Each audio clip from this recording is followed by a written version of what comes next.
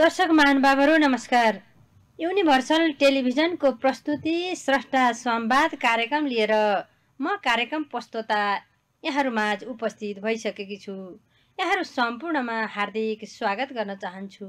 यस कार्यक्रममा हामी अतिथि स्रष्टासँग रहेर अतिथिज्यूसँग सम्बन्धित विषयवस्तुमा कुराकानी गर्नेछौँ र समय मिलेसम्म अतिथिज्यूका केही सिर्जनाहरू पनि सुन्नेछौँ।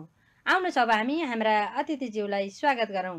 आजका हाम्रा अतिथि हुनुहुन्छ वरिष्ठ साहित्यकार अत्यन्त आदरणीय दाजु गीतकार पनि हुनुहुन्छ बमबहादुर थापा जितालीज्यू। यहाँलाई हार्दिक स्वागत छ हाम्रो आजको श्रेष्ठ। संवाद कार्यक्रममा। धन्यवाद। आराम हुनुहुन्छ नि? एकदम ठिक छु। हिजो आज केमा व्यस्त हुनुहुन्छ? हिजो आला हिजो आज चाहिँ जो सिर्जना साहित्यिक सिर्जना र मञ्जुश्री साहित्यिक समाजको साहित्यिक कार्यक्रमहरूमा व्यस्त छु यहाँको साहित्यिक यात्रा र पढाइको सिलसिला कसरी अगाडि बढ्यो कहिले कहिलेबाट साहित्यमा लाग्नुभयो म चाहिँ वास्तवमा बच्चैदेखि गोठालो के जङ्गलमा गोठालो गाउँमा गोठालो भएर जिता अब त्यो जङ्गलमा छ वर्षमा छवटा गाई गोरु। चराउन यो बगालमा सबैजना मिलेर। वनमा चराउन जान्थ्यौँ। यस हिसाबले जङ्गलको यो प्राकृतिक मनोरम दृश्य बा बाट एकदम नजिक हुन पाइयो। र प्रकृतिको क्षेत्र चाहिँ एउटा विश्व विश्व विद्यालय नै रहेछ। धेरै कुरा जानिँदो रहेछ क्या त्यसबाट। त्यति हुँदा हुँदै घरमै बाह्रखरी अध्ययन गरियो र गुरुकुलमा पनि। विद्यालय पनि थिएन होला सायद। विद्यालय थियो। थियो? तैपनि अब बच्चैदेखि जाने ऊ थिएन। अनि गुरुकुलमा दुर्गा कवच चण्डी पढ्न सक्ने भएपछि बल्ल स्कुलमा स्कुल- गएर आठ वर्षको उमेरमा एक कक्षामा भर्ना भएको। ए एक कक्षामा भर्ना भएको एक हप्तैमा दुई कक्षामा गइहालेँ म। त्यो. एउटा नेपालीको किताब थियो राम र हरि भन्ने। खरै पढ्नु सिरानदेखि पुछारसम्म गुरुलाई चाहिँ. किताब लिन दिएँ। खरा शिरदेखि पुछारसम्म सुनाइदिएपछि घरमा अध्ययन गर्नुभएको थियो पहिला अध्ययन चाहिँ घरमै गरेका. थिएँ। त्यो एक कक्षाको किताब सात दिनमा बुझाएर. दुई कक्षामा गइयो। अनि तिन चार पाँच छ पाँच कक्षा फर्किँदै जानुभयो कि? होइन सरासर गएँ। त्यसपछि सरासर। गइयो र पाँच कक्षामा पुगेपछि बल्ल अङ्ग्रेजी एबिसिडी चिनियो। अङ्ग्रेजी पढाउने मास्टर चाहिँ कोही थिए नपाएर त्यो भइरहेको थियो। एकजना बम्बईमा जाहिर खानी घर बिदा आएको बेलामा एक महिना भदौ एक महिना अङ्ग्रेजी एबिसिडी चिनाइदिनु भयो। त्यसपछि उहाँलाई चाहिँ हामीले भदौरे मास्टर भन्थ्यौँ कि भदौ एक महिना पढाइदियो त्यति भयो अनि पढ्दै अगाडि बढियो र सानैदेखि म कविता लेख्ने. सुनाउने वक्तृत्व कला प्रतियोगितामा नि भाग लिने। त्यो कविता लेख्न चाहिँ लेख्नुपर्छ भन्ने चाहिँ के त्यो जङ्गलमा गाईबस्तु चराउन जाँदा गोठालो जाँदा त्यो आयो कि यहाँलाई कस्तो कसैको केही सुन्नुभयो कि? होइन त्यो त्यति बेला मेरो भावनाहरू जुन प्रकृति प्रेमी भावनाहरू भित्र थिए अँ, मैले यो रुख ढलेको अँ. विषयमा पनि लेखेको छु। ए। अँ, हाम्रो पँधेरामा आँपका ठुल ठुला रुख थिए। अँ, त्यो ढलेको दिनमा मैले त्यो आँप असारे आँप भनेर उम्. शीर्षकमा कविता पहिलो कविता लेखेँ। के त्यो बच्चै बेला लोक लेख्नुभएको? छन्दमा बाह्रै वर्षको उमेरमा। ए ए। अनि लेखेँ र सुनाएँ। अँ, बुवा मुवालाई सुनाएँ। ओहो एकदम खुसी हुनुभयो। अँ, अनि हरे स्कुलमा हरेक शुक्रबार कार्यक्रम हुन्थ्यो साहित्यिक। त्यसमा सुनाउँदाखेरि जहिले नै फर्स्ट सेकेन्ड हुन्थेँ। र वक्तृत्व कलामा पनि म पहिला नै हुने। म धेरै बोल्दैन थिएँ अरूको जस्तो। अँ। म थोरै बोल्ने एकदम सठिक बोल्ने भयो हुनाले। अरूको कुरालाई कट अफ गर्नलाई चाहिँ थोरै कुराले पनि प्रभाव पार्दो रहेछ। मलाई एउटा सम्झना छ छोटो। यो धान र मकैको विषयमा वक्तृत्व कला भयो। अनि मैले धान लिएँ। होइन अब अर्को पक्षले चाहिँ मकै मकै धान ठुलो मकै ठुलो भन्ने कि? त्यसको महत्त्व ठुलो। अनि मकैका गेडा नि ठुला हुन्छन् यसो. भुटेर खान पाइन्छ आदि इत्यादि भन्यो साथीले। अब मैले मेरो पालो आएपछि मकैका गेडा त ठुला हुन्छन्। तर त्यसको महत्त्व बुझ्नुपर्छ।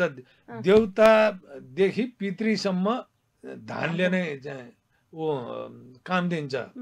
यसको महत्त्व धेरै ठुलो छ। हवन गर्दाखेरिमा चाहिँ.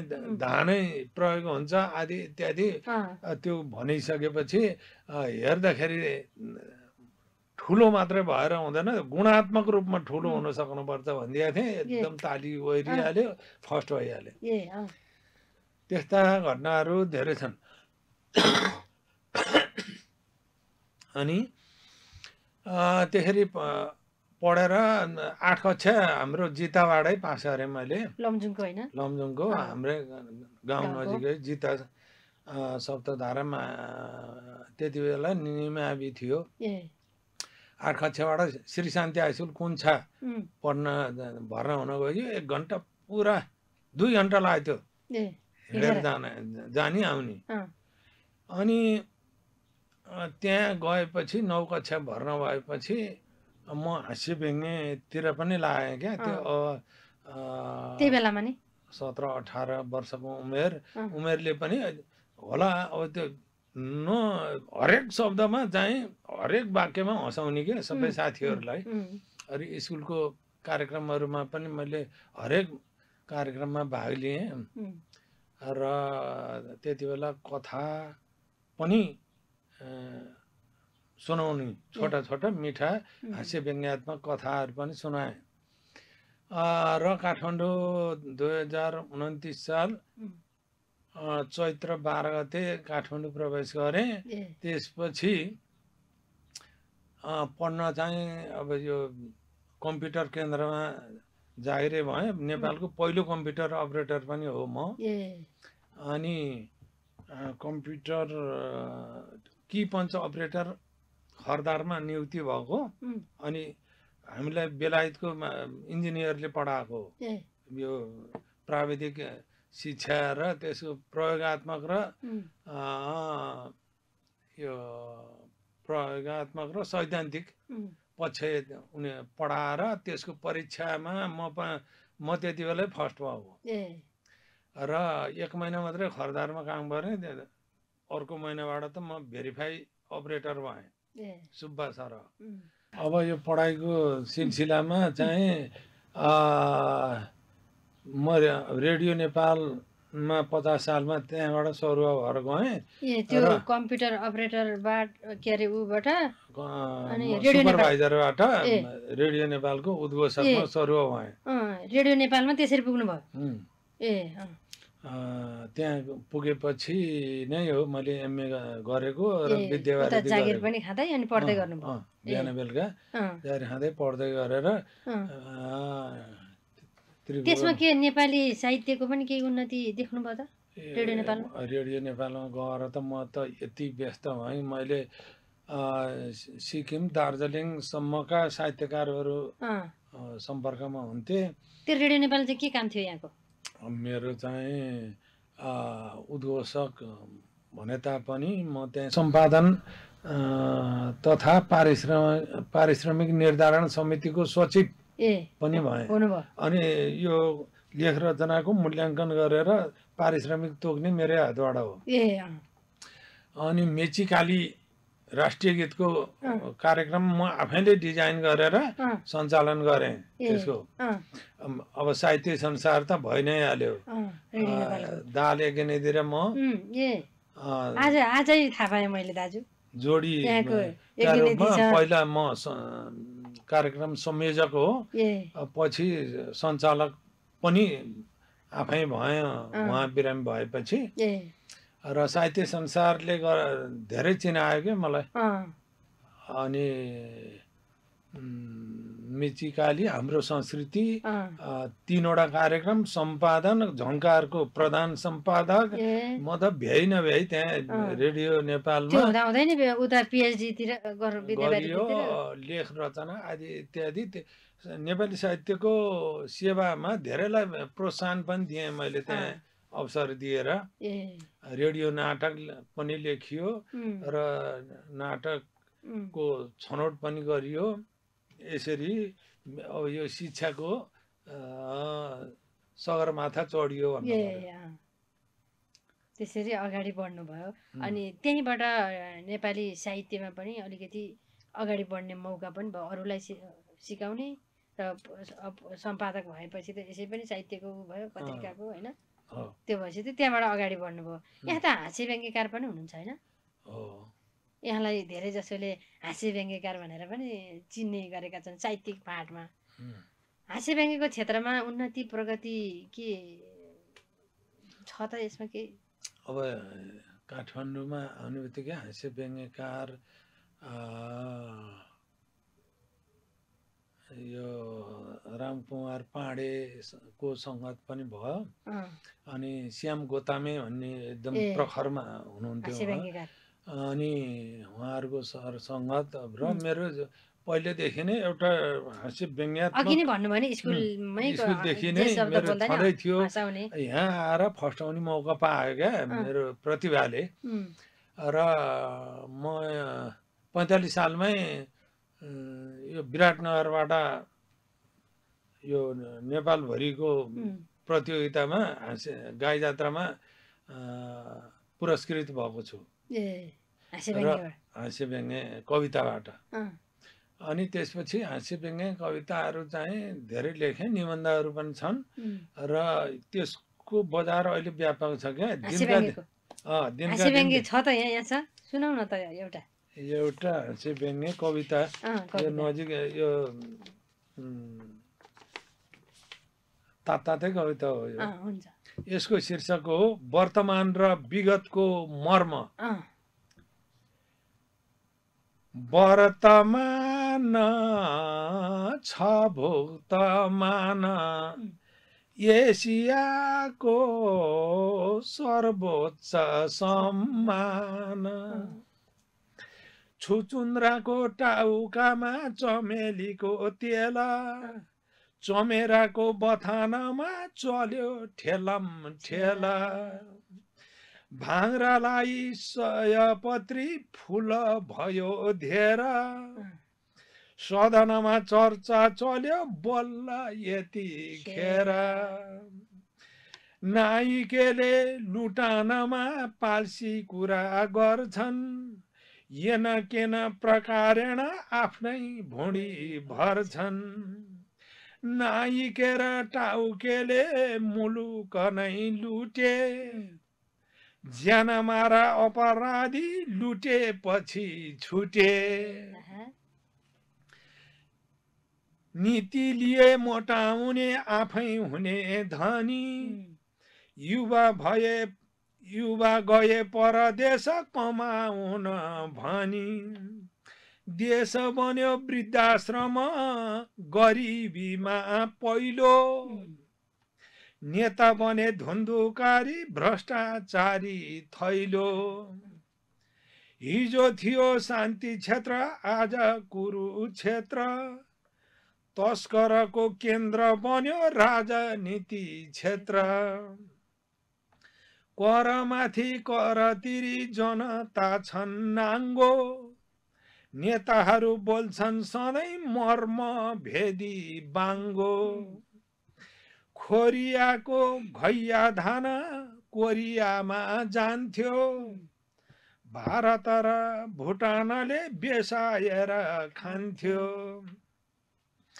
आज हामी विदेशको बेसाएर खान्छौँ। परजीवी नेतालाई गणतन्त्री ठान्छौँ। विदेशीको इसारामा धर्म शर्म फाले। लाजा पनि लजाउने कर्म गर्न थाले। कस्तो थियो संसारमा गोर्खालीको साना टिठ लाग्दो बनेको छ हाम्रो पहिचान। वर्तमान छ भुक्तमान।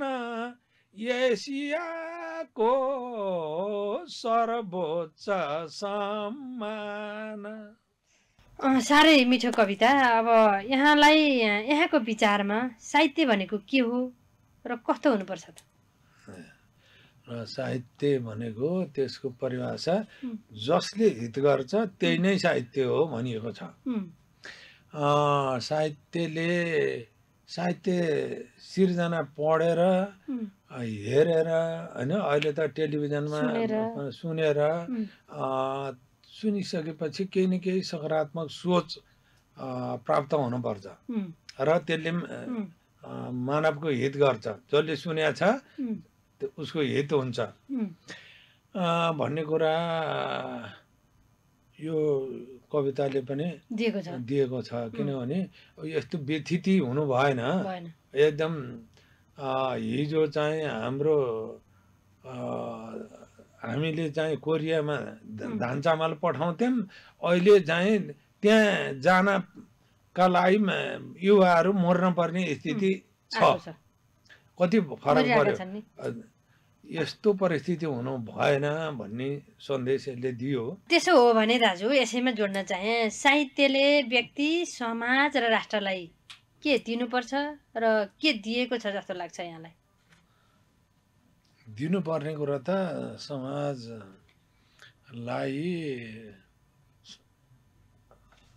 समग्र रूपमा समाजको यथार्थ स्थिति उजागर गर्नुपर्ने हो। र त्यो गर्ने परिस्थिति पनि छैन। किनभने जब अलिकति खान लाउन र शान्तिपूर्वक बस्ने वातावरण नबनेसम्म त्यस्ता भावनाहरू फुर्दैनन्। अहिलेको परिस्थिति अलि भयावह परिस्थिति छ। त्यसले गर्दाखेरिमा सकारात्मक सोचका भावनाहरूको उजागर भएको छैन। समाज साहित्य समाजको ऐना बन्न सकेको जस्तो ला लाग्दैन। यसरी यो अहिले व्यङ्ग्य साहित्यको विकास भएको छ क्या। हास्य चाहिँ. हरायो। व्यङ्ग्य चाहिँ उजागर भइरहेको छ व्यङ्ग्य साहित्यकारले व्यङ्ग्य प्रहार गरेको त अब त्यो अब अब हाम्रो देशका राष्ट्र नायकहरूले पनि बुझ्नु पर्यो। हाम्रो समाजले बुझ्नु पर्यो हो कि हो। त्यो त साहित्यकारले त व्यङ्ग्य दिने हो नि त। यसो गर भनेर डाइरेक्ट भन्ने होइन नि त होइन? हो। व्यङ्ग्यात्मक प्रहार भइरहेकै छ र यसको उन्नति पनि भ व्यापक भइरहेको छ। त्यो जसले सुन्नुपर्ने र सच्याउनु पर्ने आफ्नो व्यवहारमा परिवर्तन ल्याउनु पर्ने मान्छेहरूले सुन्न पनि छोडेको र त्यसले प्रभाव पार्न नि छोडेको परिस्थिति देखिएको छ।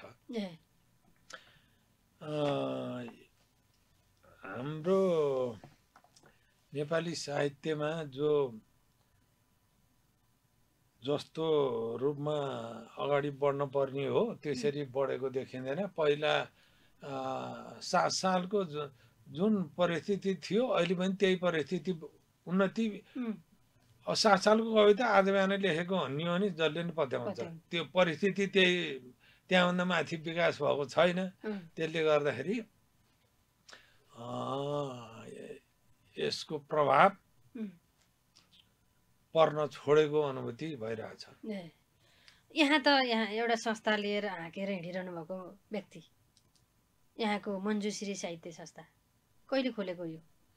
यो दुई हजार बहत्तर सालमा खोलेको हो। मेरै नेतृत्वमा अहिलेसम्म यहीँ हुनुहुन्छ अध्यक्षको। मै छु। र यो संस्थाले के काम गर्दै आइरहेको छ त यसले त धेरै काम गरिसक्यो। छब्बिसजनालाई सम्मान गरिसक्यो अहिलेसम्म। यो बहत्तर सालमा खोलेर पचहत्तर सालमा दर्ता। भएको। हामीले दर्ता गर्ने सोच पनि राखेका थिएनौँ। किनभने. अडिट गर्ने के गर्ने खालि सरकारलाई तिर्ने मात्रै काम हुन्छ। यो हामी पचासजना सदस्य छौँ। हजार हजार उठायो भने पचास हजार हुन्छ। अब के यसैले धेरै काम गर्न सकिन्छ भनेर हामीले त्यति बेलै बिस बाइसजनालाई सम्- सम्मान गर्ने दर्ता नगर्दै? दर्ता नगर्दै धेरै काम गऱ्यौँ। पचहत्तर सालमा नागार्जुनको मेयरलाई बोलाएको सम्मान पत्र यो नागार्जुन भ्यालीभित्रका स्कुलहरूमा प्रतियोगिता गराएर फर्स्ट सेकेन्ड थर्ड र सान्त्वना पुरस्कार नगद पुरस्कार वितरण गरियो सम्मान पत्र वितरण गरियो। त्यो प्रमुख अतिथि मेयर भएको मेयरलाई बोलाएर गराएको हुनाले चकित। मेयर त ओहो। अब नगरपालिकाले सुको दिए छैन यत्रो यत्रो काम गर्छन् भनेर त्यो प्रभाव परेछ र अनि सहयोग एक। लाख रुपियाँ बजेटमा राखिदिनु भएछ। बजेट राखिदिँदाखेरिमा संस्थाको नाम बिर्सिनु भएछ।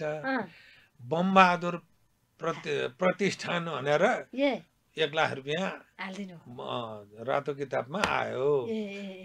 दर्ता नगरिकन त अब त्यो झिक्न पाइएन। भनेर दर्ता गरेर अनि मञ्जुश्री साहित्यिक समाज भनेर दर्ता गरियो।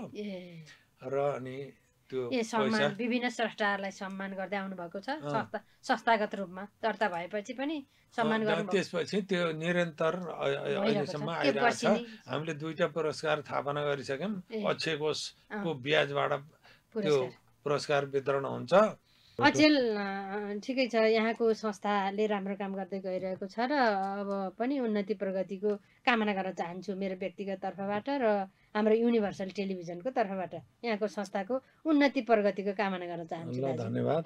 एकदम राम्रो काम गर्दै यसपालि पनि हामीलाई एक लाख रुपियाँ। दिएको छ र यसले अधिराज्यव्यापी कविता प्रतियोगिता गराएर पुरस्कार। पनि यति बिस हजार पन्ध्र हजार दस हजार र पाँच हजारको चाहिँ पुरस्कार घोषणा त्यो कविता मागको लागि विज्ञापन आह्वान। गरिसकिया छ। ए ए ए हुन्छ ठिक छ। अचेल यहाँले यहाँ त वरिष्ठ साहित्यकार हुनुभयो। अचेल साहित्यिक फाँटमा गुणात्मक भन्दा पनि सङ्ख्यात्मक बढी देखिन्छ। के भन्न चाहनुहुन्छ? अब कविता जे लेखे पनि कविता हुन्छ जस्तो लेखे नि कविता हुन्छ भनेर सुनाउने बाटो मात्रै गर्ने चलन बढेको छ। जस्तो अलिकति एउटा कविता लेखे पनि साहित्यकार भन्ने होइन?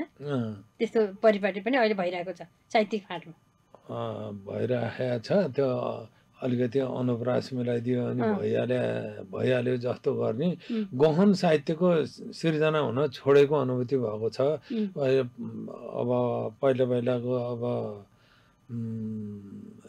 ऋतु विचार तरुण तपसी अब यी अब शाकुन्तल महाकाव्य जस्ता यस्ता गहन काव्यहरूको सिर्जना हुन छोडेर अहिले हल्का फुल्का सिर्जनाहरू गर्ने र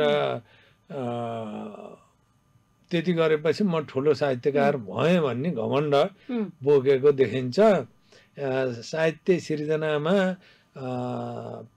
परिष्कार हुन छोडेको जस्तो देखिन्छ र पहिला पहिला त साहित्य भनेपछि सिधा नभनेर बडा कलात्मक ढङ्गले घुमाएर व्यक्त गर्ने गरिन्थ्यो। तर अहिले सिधै भन्दाखेरिमा त्यो कवितात्मक हुन सकेको देखिएको छैन। यहाँ त गीतकार पनि हुनुभयो होइन? यहाँले धेरै गीतहरू राष्ट्रिय गीतहरू लेख्नु भएको छ। र एउटा गीत त यहाँको जहाँ छन् बुद्धका आँखा भन्ने त प्रख्यात पनि भएको छ। के भन्न चाहनुहुन्छ? के लेख्नु भएको थियो र त्यस्तो प्रख्यात भएको? अब यो चाहिँ मैले दुई हजार चौवालिस साल वैशाख एक गते बिहान एउटै एकै बसाइमा लेखिसकेको कविता हो यो पहिला। यो। अनुष्टुप छन्दको कविता हो। अहिले गीतमा पनि अनुष्टुप छन्दमै छ।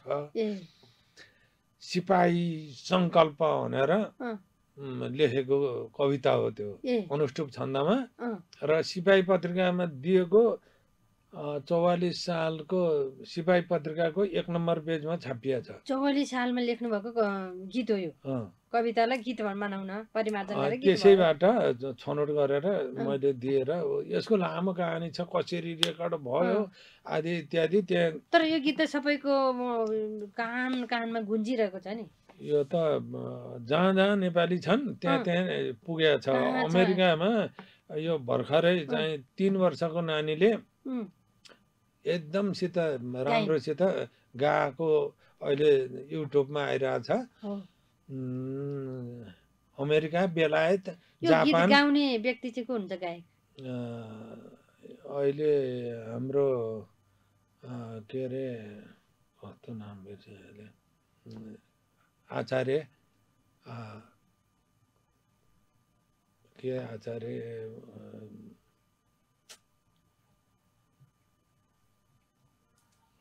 त्यो आचार्य खै अहिले त्यो आचार्यको यहीँ पनि होला त्यो।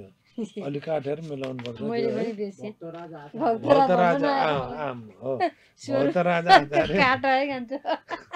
सबैलाई थाहा छ। स्वरूप राज भक्त भन्नु न मलाई नि अँ, हो त बाबुको नि। नाम नि हो। आइरहेको अँ भौतराज आचार्यको स्वर सङ्गीत हो मेरो। सिर्जना। त्यो पैँतालिस सालमा रेकर्ड भएको हो।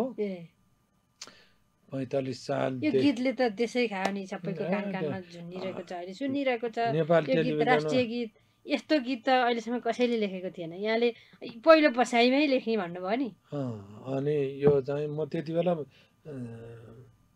वसुन्धरा कविता सङ्ग्रह प्रकाशित गरिसकेका थिएँ।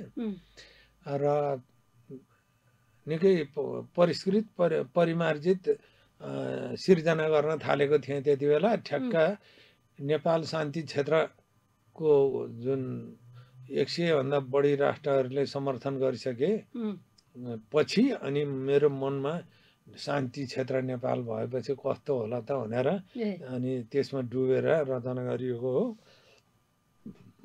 त्यो कविता रेकर्ड गर्दा तिनवटा संस्थाले मिलेर। गरेको हो। रत्न रेकर्डिङ संस्थान रेडियो नेपाल र नेपाल टेलिभिजन। तिनवटा संस्थाको संयुक्त ए के उत्पादन खर्च। पनि उहाँहरूले गर्नुभयो कि? उहाँहरूले नै गरे सबै।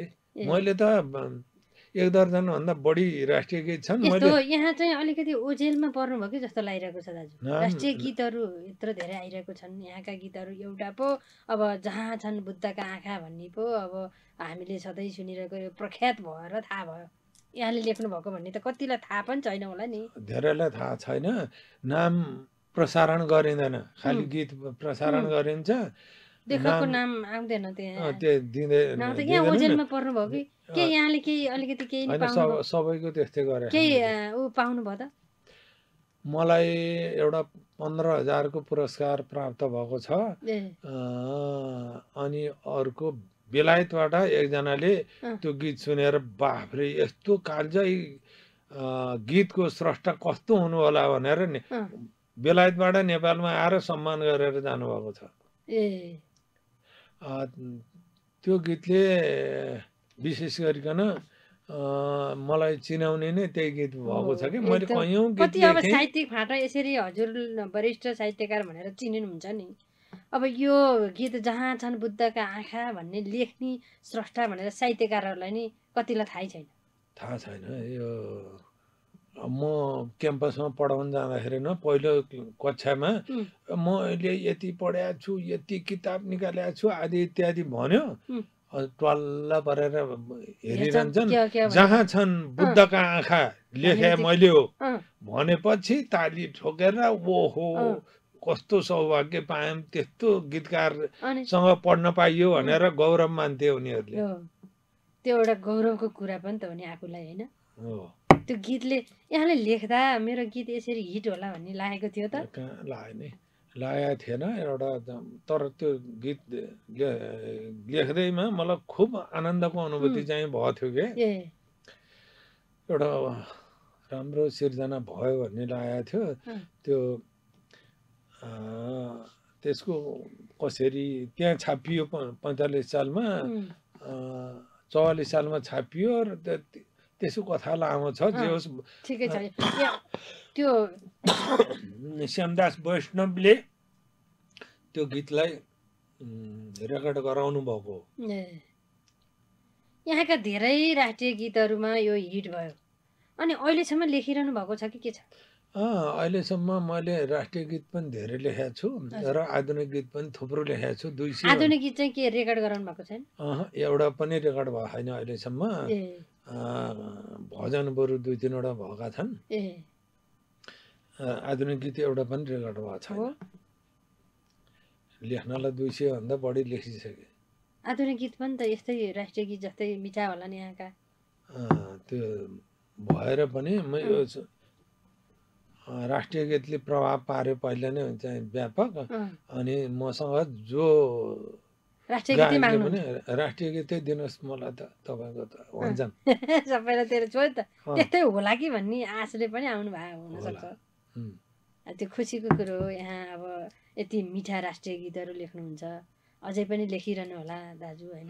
लेखिरहेको छु। हुन्छ एउटा के कविता सुनाउ न त यहाँको। ल एउटा कविता। कवि कल्पना कविको कल्पना कस्तो हुनुपर्छ र। कस्तो छ भन्ने एउटा छोटो यो चाहिँ अनुष्टुप छन्दकै कविता हो फुलै फुल चहारेर मौरी झैँ भुन भुनाउँछु अँ, म आफ्नै छन्दमा खेल्छु गीतमा गुनगुनाउँछु कल्पनाको बगैँचामा फुलको लिन्छु बासना सुगन्ध सुनमा थप्ने कविले गर्छ साधना। गीत सङ्गीतका मौरी। अलङ्कार जडेसरी छन्दका कविता जस्तै मिली बस्छन् सधैँभरि। सञ्जीवनी सुरातुल्य गुणकारी हुने पनि। महभन्दा मिठो हुन्छ कविको सिर्जना ध्वनि। परिष्कार गरी भाव कविता सृष्टि गर्छु म। कल्पना र कलाबाट त्यसैमा रस भर्छु म। यी दुवै तत्त्वका बीच सामञ्जस्य गरी गरी सौन्दर्य सिर्जना गर्छु। भुन भुनाएर माहुरी। पराग कणमा हुन्छन् महा औषधिका बुटी। वनपाखा चहारेर ल्याउँछन् माहुरी जुटी। जीवन्त कविता त्यस्तै सत्यमा शिव सुन्दर कविको रचना हुन्छ कल्पनामा मनोहर। म गर्छु सपना सृष्टि स्रष्टा द्रष्टा दुवै बनी म भर्छु रचनाभित्रै कल्पना माधुरी पनि। सुकिला भावना पोख्छु कविको नित्य कर्म हो। सुकिला भावना पोख्नु कविको नित्य कर्म हो। सुनौलो तर्कना गर्दै सिर्जना गर्नु धर्म हो। सुकिलो तर्कना गर्दै सिर्जना गर्नु धर्म हो। धन्यवाद। कति मिठो कविता सुनिरहन मन लाग्ने यहाँका कविता। यहाँको साहित्यिक कृतिहरू चाहिँ कति छन् त? दसवटा छन् मेरा। कविताहरू? कविता समालोचना। पहिला सुरुमै कविता सङ्ग्रह वसुन्धरा कविता सङ्ग्रह त्यसपछि हाँस्य व्यङ्ग्य कविता धोती न टोपी। हुँदै आएर जहाँ छन् बुद्धका आँखा गीती कविता सङ्ग्रह नै भयो। अनि यो छत्तिस छन्दको छहरा भन्ने सडसठी सालमा प्रकाशित भएको हो। यसले पहिल्यै वर्ष त्यो वर्षको प्रकाशनमा सर्वोत्कृष्ट प्रकाशन भनेर पुरस्कार पायो यसले। त्यसपछि आ, भट्टाभट दसवटा नि निक्लिएका छन्। समालोचना लेखनाथका यो औचित्यवादका आलोकमा लेखनाथ र उनका कविता भन्ने समालोचना निक्लिएको छ। त्यसै गरिकन यो सुसेली एक सय एक सुसेली पनि निक्लिएको छ। हाइकु सुसेली। अब केही नयाँ केही आउँदैछ कि? अब शास्त्रीय छन्दका छाँगा भन्ने आउँदैछ। त्यो। चाहिँ शास्त्रीय छन्दको मात्रै सङ्ग्रह हुन्छ। त्यो निकाल्ने तर्खरमा छु र अहिले लेखनाथका रचनाको विवेचना यो समालोचना ग्रन्थ नै निक्लिँदैछ। त्यसको तयारीमा पनि छु म हुन्छ हुन्छ। छिटै आओस् दाजु त्यो पढ्न पाइयोस्। अब हामी कार्यक्रमको अन्तमा पुगेका छौँ। पछिल्लो अवस्थामा आएर यहाँले सुसेली कविताको लघुत्तम विधा सुसेलीतिर पनि एउटा सङ्ग्रह त निकालिसक्नुभयो। सुसेली र हाइकुमा भिन्नता वा समानता? के छ प्रश्न यो हाइकुको सिद्धान्त शास्त्र मैले नै लेखे। पहिलो। नेपालीमा लेख्ने पहिलो व्यक्ति म। चौसठी सालमा जापानी छन्दमा नेपाली कविता र जापानी नेपाली कवितामा जापानी शैलीको अध्ययन भनेर एउटा पुस्तक निकालेपछि बल्ल त्यसको सिद्धान्त पर्याप्त रूपमा पाइएको हो र एमएको थेसिस पनि तयार गरेका छन् दुईजना विद्यार्थीले त्यही किताबको आधारमा। यो दुइटै पाँच सात पाँच अक्षरको संरचनामा बनियो अ, हाइकुमा चाहिँ अनुप्रास त्यसले भावलाई प्राथमिकता दिन्छ हाइकुले भनी यता सुसेलीले लयलाई लय र अनुप्रासलाई प्राथमिकता दिन्छ तर कविता जुनसुकै कवितामा पनि भावको विशेष महत्त्व हुन्छ। भाव बिनाको कविता मिठो हुँदैन र. त्यसले प्रभाव पनि पार्दैन। यिनीहरू एउटा अब जापानीमा हाइकु भनियो नेपालीमा सुसेली भनियो। अब संरचना उयो हो यो यो ठुलो यो सानो भनेर विवाद गर्नुभन्दा यी दुवै पक्षमा रचना स्तरीय रचनाको विकास गर्नुपर्ने र यो भावमय कविताले नै मान्छेलाई परिचित गराउँछ र. विधालाई पनि उच्च मूल्याङ्कन तर्फ अगाडि बढाउँछ। यसो हुनाले सुसेली आफ्नै ठाउँमा छँदैछ आफ्नै हाइकु आफ्नै विवाद गर्ने कुनै। कारण छैन।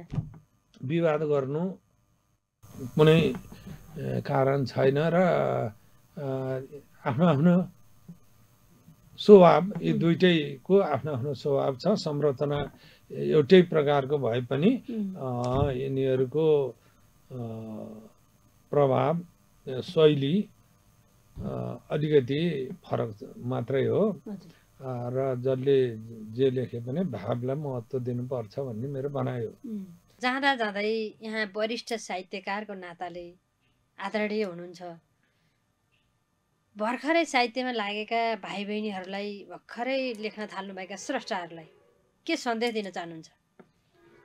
नवोदित प्रतिभाहरूले यो कविताको